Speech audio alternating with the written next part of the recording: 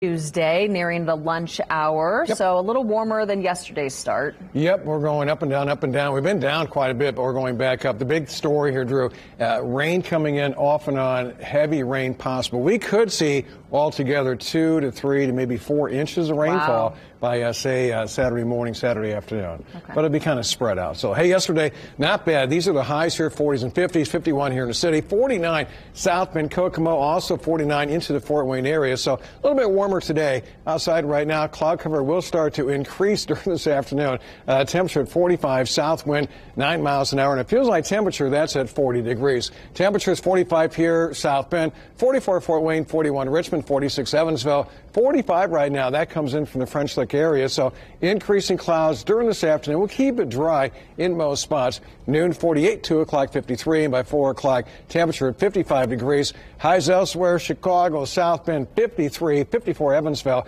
58 the high down in Louisville. Here in the city, forecast high 55. The average high, I think, is up around 54. I need to check this out. And the record high is 77 degrees. I set back in 2012. Storm tracker not much here now, but this is our first little batch of rain. Parts of Missouri, down across Arkansas, some light to occasionally moderate rain, not severe, and that is moving steadily northeastbound. This is our Futurecast model. Uh, we'll stop it at noontime. Okay. Clouds increasing, thickening up during the afternoon. There's our map by 4 o'clock.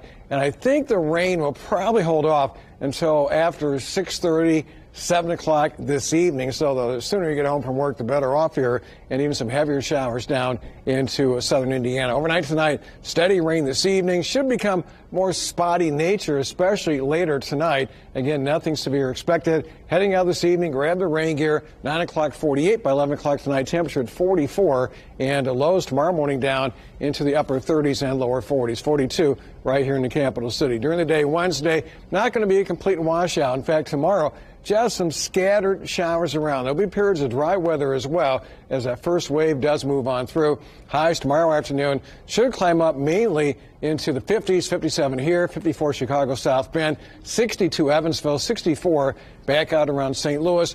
And then as we head into Thursday, there's a front coming down. It's going to stall out as low pressure develops along that frontal zone. So on Thursday, again, I don't think it's going to rain all day, but uh, a better threat for some scattered showers, maybe a couple thunderstorms.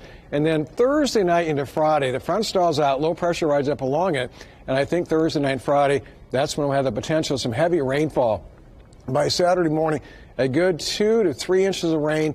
Some spots, especially downstate, may see up to around four inches of rainfall. And again, this is up until 7 o'clock come Saturday morning. And these are highs during the day on Thursday. To be still pretty mild, 64 here, 73 Evansville, 74 Louisville, and cooler north of that front, 52 South Bend, and 43 into the Chicagoland area. Our extended eight day outlook again becoming more active here. Scattered showers tomorrow, scattered showers and thunderstorms on Thursday. Heavier rain is possible come Thursday night, Friday. That may linger into Saturday morning, too.